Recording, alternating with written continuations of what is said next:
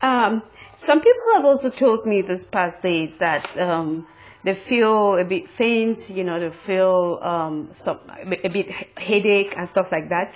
And it's totally normal. It's totally normal because um, if you have changed, you know, if you've radically changed your way of eating, you know, if you have cut back on on biscuits and sweets and chocolates and uh, you know and cakes and all those things throughout the day, and you're putting you're, you're replacing them with more healthy things, there is somebody who doesn't like it. That is the enemy. The enemy will always try to fight us and attack us when he notices that we are doing something which could be beneficial to us. Because remember who he is. He comes to, he's the, the destroyer. He comes to steal, to kill, and to destroy. Okay? So do not be surprised that you're, you're feeling maybe faint. Do not be surprised that you're feeling a bit, um, a bit, you know, kind of like, oh, this is not so okay. It is the, you know, it is the, the enemy trying to discourage you. It is your system fighting because you're, you're pushing it out of its comfort zone. So you would also need to fight back.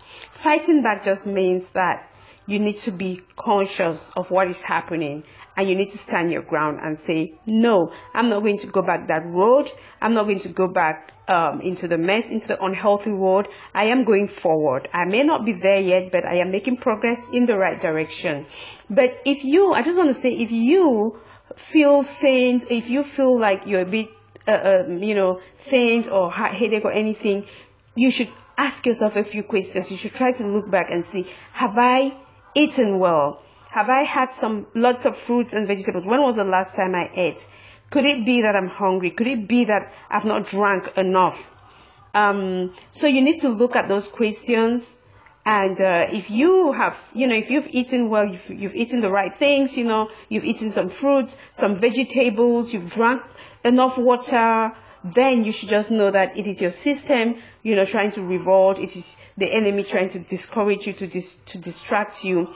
So you just need to fight back. But of course, if it persists, you can again talk to me, and most importantly, you should see you should see a doctor. Okay, because um, yeah, that is it. That that that is it. Um, the enemy is fighting and uh, we also have to just stand firm and fight back. But it should not be a permanent it should not be a permanent solution. At some point your body will get used to it and you will just feel wonderful